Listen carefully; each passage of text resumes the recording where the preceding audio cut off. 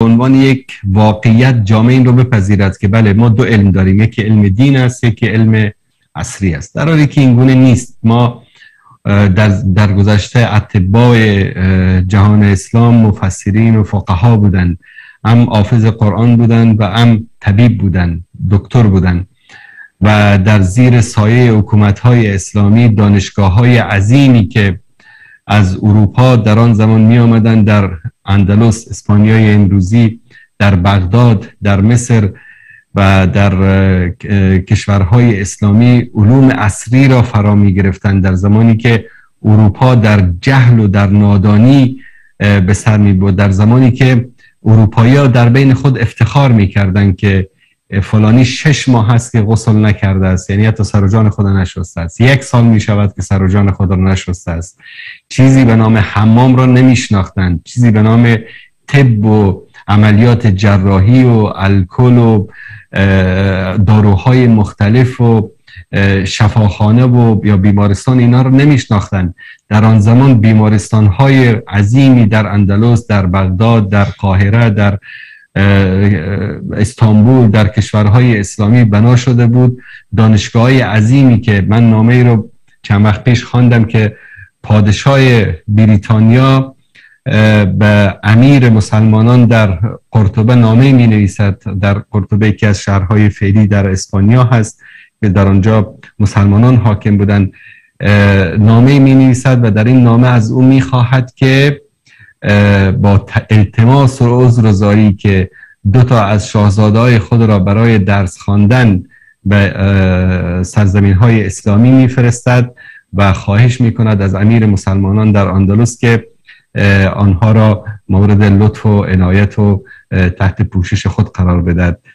و در پایان نامه می نویسد که بنده فرمانبردار شما جورج دوم پادشاه انگلیس و امیر مسلمانان در جواب او نامه می نویسد که از به صلاح خزانه امیر خرچ و مصرف به صلاح مثل بورسیه امروز این دو شاهزاده انگلستانی پرداخته می شود که در سرزمین های اسلامی درس بخوانند.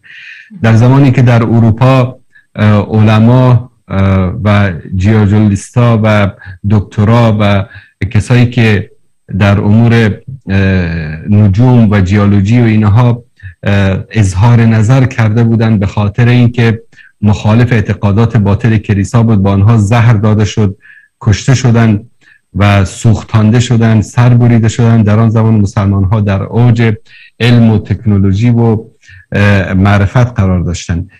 و این به سبب این بود که در مثلا در مدارس نظامی بغداد در اونجا فقط قرآن و فقه و حدیث تدریس نمی‌شد. در اونجا علم نجوم قرآن فقه حدیث طب کیمیا فیزیک حساب که به صلاح امروز ریاضیات میگن همه اینا در زیر یک سقف در مدارس تدریس می‌شد. و اختلافی مدرسه ای وجود نداشت که بگن این مدرسه علم عصری است و این مدرسه علم دینی است. اما در حد تخصص بله ائمه و فقها شاگردان خاص خودشان داشتن حلقات درس داشتن. یعنی حلقه درس مثلا امام مسلم بود حلقه درس امام بخاری بود حلقه درس امام اوزاعی بود. هر کدام از مفسرین محدثین برای خود حلقات درس و شاگردان خاصی داشتن که اون شاگردان انسانهای مفتخاری نبودن یعنی ملا و آخوند و مولوی و آیت الله و جت الاسلام به اونا نمی‌گفتن که یک لباس خاص یک وضعیت خاصی داشته باشن و بقیه مردم در خدمت آنها باشن. نه اونها برای خود کار می‌کردن تجارت می‌کردن. مثلا امام حنیفه رحمت الله علیه بزاز بودن تجارت پارچه می‌کردن و از درآمدش از پول کسب و کارشان حتی بورسیه می‌دادن به شاگردانشان. اولین کسی که به صلاح همین بورسیه که امروز مطرح هست در دانشگاه های جهان رو امام ابو در بغداد برای شاگردانشان اختصاص دادن. به حال ما چیزی به نام علم دینی و علم اصلی نداریم.